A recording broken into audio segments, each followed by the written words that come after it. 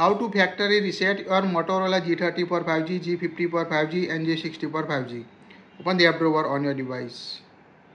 Tap the settings app. Now scroll down. Tap on a system.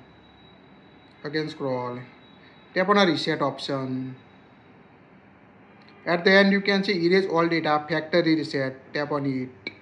Now here you can see this will erase all data from your internal storage including your Google account, system and app data setting, downloaded apps, music, photo and other data.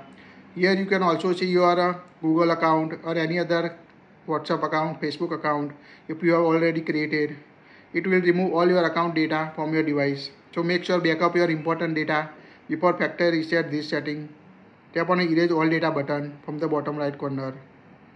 Now when you tap on erase all data, it will remove all your personal data, downloaded apps and other settings and reset your phone to factory default setting on your Motorola device. So make sure backup your data. That's it. If you like it, share it.